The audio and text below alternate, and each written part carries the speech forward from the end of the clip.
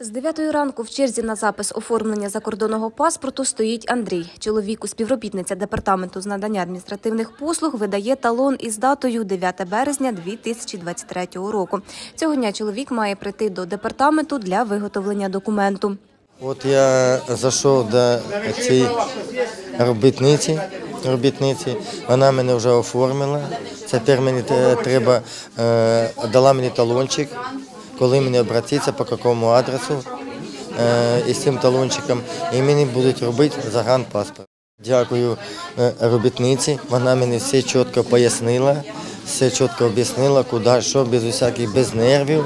Це мені е, дуже сподобалося.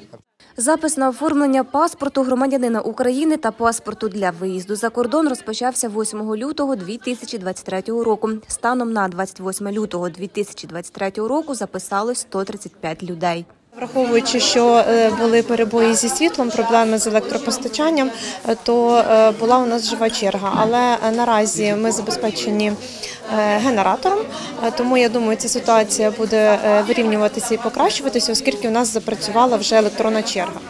Люди зверталися завжди. Е, Люди е, звернення е, не можна сказати, що не припинялися жодного дня. Колись більше, колись менше. Все залежало від того, чи там чи є повітряна тривога, чи немає повітряної тривоги. Тому що якщо повітряна тривога, ми не приймаємо, а лише консультуємо. З лютого 2023 року на Миколаївщині був заблокований реєстр для оформлення документів. Люди звертались до одеського ЦНАПу. Спочатку е, неможливо було робити це в повному обсязі в зв'язку з тим, що жоден е, державний реєстр на території е, Миколаєва, Миколаївської області не працював, вони були заблоковані.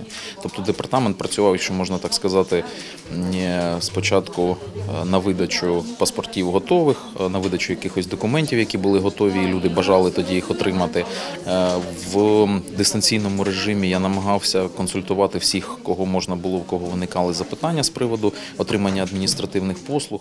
Ми працюємо майже в повну потужність, е, надаємо практично всі ті адміністративні послуги, які ми е, могли змогу надавати до е, повномасштабного вторгнення.